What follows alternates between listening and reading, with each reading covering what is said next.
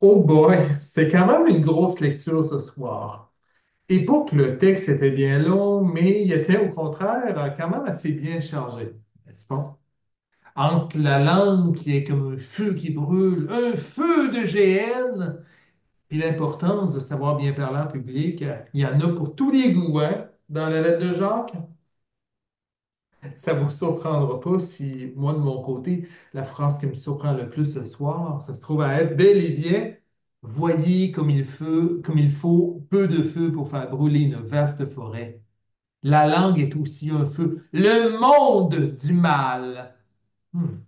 Si cet avertissement-là peut nous faire sursauter et même nous inspirer un, un petit sourire tellement c'est gros comme affirmation, j'ai pas mon dire qu'importe de savoir de quoi il est question très exactement ici. Il me semble que, à mon humble avis, l'épître de Jacques condamne pas tant la langue, bien sûr, mais elle nous avertit de sa force et plus précisément, nous invite à la prudence dans l'exercice de l'habileté de la parole. La parole, cela étant dit, qui est bien plus puissante qu'on pourrait le croire après ma barre. hein. On en a parlé tout au, tout au long de la soirée, c'est rendu une évidence pour nous. Et ce même avertissement de Jacques, en fait, m'a rappelé une anecdote que j'ai entendue pendant que je faisais mon baccalauréat en littérature et philosophie. Une anecdote que j'aimerais bien vous partager. Peut-être que vous connaissez un tantinet le théâtre grec dans l'Antiquité, et plus spécifiquement le genre de la tragédie, considérée avec raison comme une des formes théâtrales les plus importantes dans l'histoire de l'art. La tragédie était habituellement jouée dans un agora, donc en public, c'est-à-dire plus qu'en public, mais devant tout le monde, devant les gens de la cité. Hein. C'est pas comme dans, un- dans une maison privée ou bien dans un, euh, euh, dans une salle de spectacle. Non. Il se trouvait un chœur, c'est-à-dire un ensemble de narrateurs au milieu de la scène qui racontait une histoire réelle ou fictive qui avait pour thème la relative absurdité du monde, dirait-on aujourd'hui. On explorait, entre autres, la souffrance des êtres humains dont la triste destinée est souvent interreliée à des épreuves qu'ils n'ont pas choisies. En 494 avant Jésus-Christ, Phrynikos, un des plus grands artistes tragiques de l'Antiquité grecque, a présenté une pièce de théâtre qui s'appelait pour nom La prise de Milet. Vous vous doutez peut-être qu'avec un nom comme ça, il est question ici d'un événement historique d'ampleur. hein? Ainsi, le chœur raconta la destruction de la ville quelques années auparavant par l'Empire perse. Ce à quoi Phrynikos ne s'attendait pas, c'est tout l'effet de sa prose sur l'audience. Sa parole non, sa parole non pas prophétique, mais poétique, provoqua de manière inattendue le ressurgissement des souvenirs traumatiques et profondément enfouis chez la population de Milet.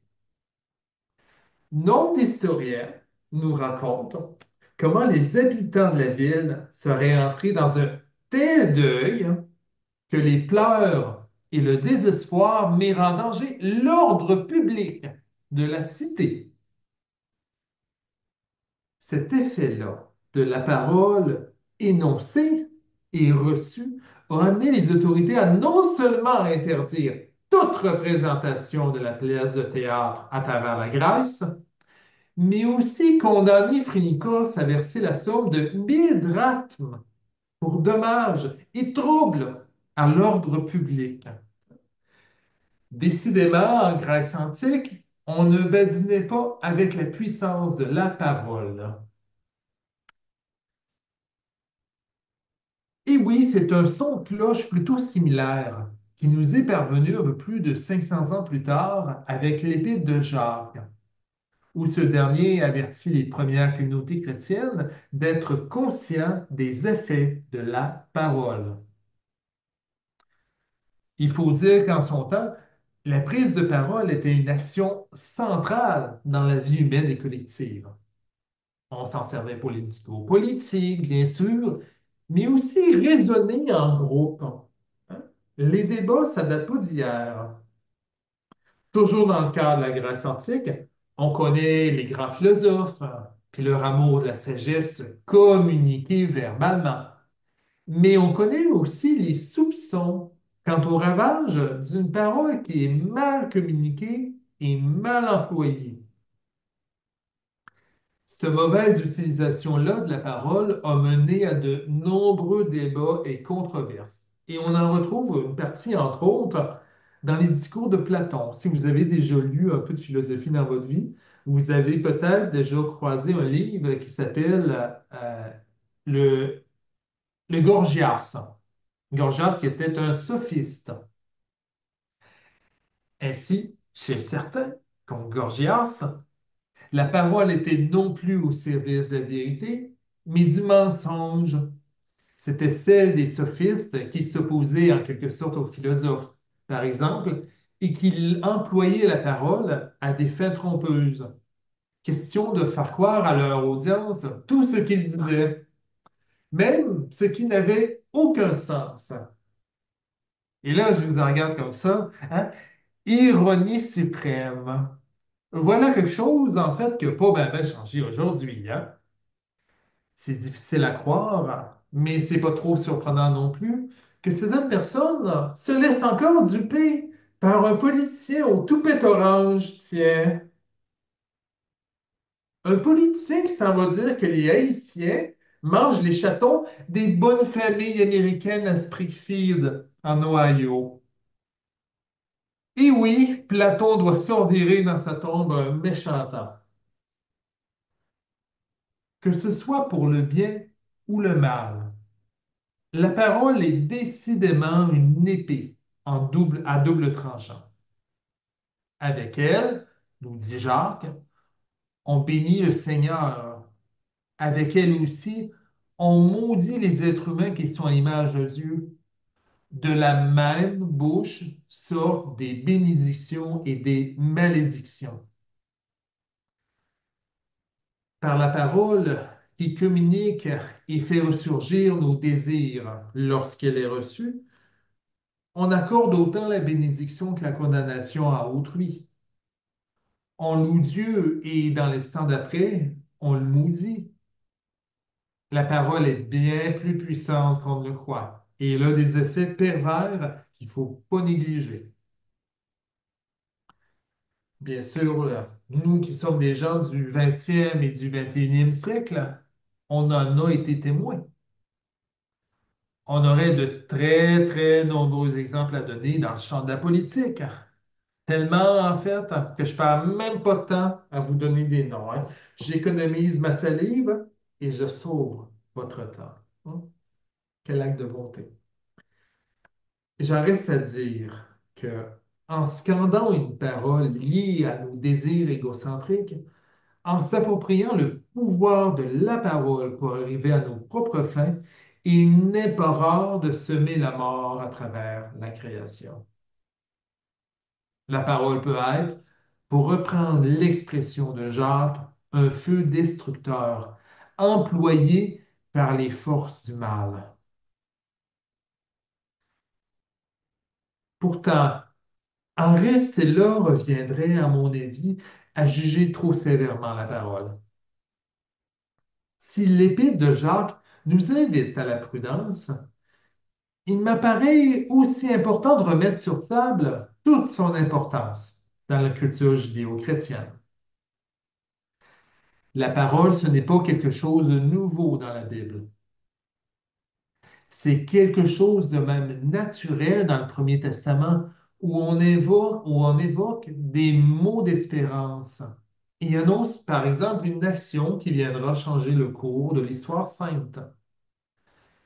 À travers une prise de parole audacieuse, on se souvient des prophètes, lisant les signes des temps, et communiquant la volonté divine. Autant Jérémie qu'Ésaïe, Moïse ou Déborah ont vécu un ministère centré sur la communication.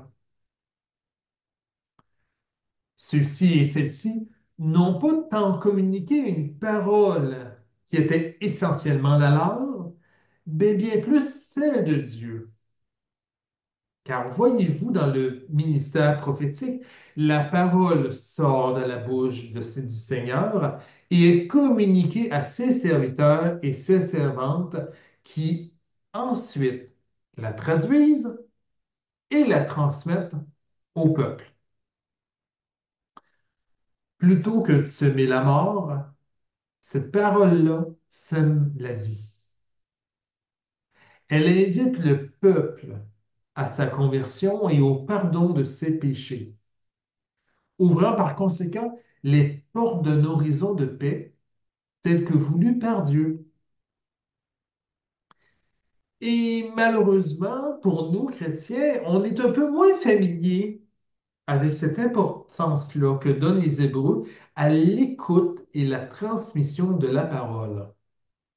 Tout naturellement, bien sûr, on aime parler de la parole de Dieu pour évoquer les Écritures. Et ultimement, Jésus qui, dans les termes même de l'Évangile de Jean, est parole faite chair. Néanmoins, on oublie quelquefois les enjeux même de la parole dans l'expression de notre foi et de ses conséquences, bonnes comme mauvaises. Pour vous donner un exemple, il y a une tradition liée à la parole qui m'émerveille dans le judaïsme hein, et je vous la partage. Voyez-vous, les Juifs proclament les Écritures, non pas tant par habitude ou pour simplement accorder l'autorité à celle-ci, mais bien plus pour se souvenir de l'action bienfaisante de Dieu dans l'histoire de son peuple. Vous avez peut-être déjà entendu schéma Israël. Écoute Israël. Souviens-toi par la lecture et l'écoute de la parole. Souviens-toi de la grâce de Dieu, lui qui t'a fait sortir d'Égypte et qui t'a racheté. Comme ce fut un peu le cas dans la tragédie écrite et jouée par Phrynikos, énoncer et recevoir une parole de vérité nous permet de nous souvenir de nos douleurs passées, mais aussi de nous orienter vers l'avenir, tout en nous rappelant la grâce de Dieu. À la lumière de cet exemple-là, comme de bien d'autres, il fait nul doute à mon esprit qu'on est toutes tous responsables des effets de notre parole. C'est à nous de la mesurer et de bien choisir nos mots, mais aussi de l'étudier pour en connaître la provenance exacte. Contrairement à la vidéo qu'on a écoutée ce soir, il me semble que l'Esprit nous invite à ne pas nous laisser aller à un simple jeu d'éloquence où on dirait tout et n'importe quoi afin de satisfaire notre ego ou marquer des points. Convertir des gens à des idées n'a rien d'un jeu. Et la parole ne devrait pas être un simple exercice. Pour nous, juifs comme chrétiens, la parole ne sert pas à nous revêtir de puissance, mais à manifester celle du Seigneur qui habite en nous. Ce soir, de nouveau, à l'exemple de Phrynikos, mais aussi de nos ancêtres dans la foi, l'Esprit nous invite à employer des mots qui manifeste la vérité et à partager une parole qui transporte notre foi. Chaque fois que nous nous exprimons ou recevons une parole de douceur et de tendresse, Rappelons-nous des bontés de notre Dieu, qui nous a sortis d'Égypte et qui marcha avec nous à travers Jésus. Peut-être alors qu'on sera en mesure de planter quelques semences dans le cœur d'autrui, des semences d'espérance et d'amour qui font grandir et qui porteront, j'en suis certain, des fruits. Soyons donc attentifs à notre parole. Ne laissons pas nos angoisses parler à notre place, mais laissons Dieu se manifester en nous pour mieux porter témoignage à son amour, sa grâce, sa grandeur, son pardon et bien sûr sa gloire. Ainsi soit-il que la parole nous porte sans cesse. Amen.